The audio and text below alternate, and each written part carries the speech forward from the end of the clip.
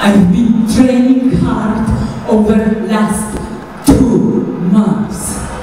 And I am in pretty good shape, as well as mental and physical.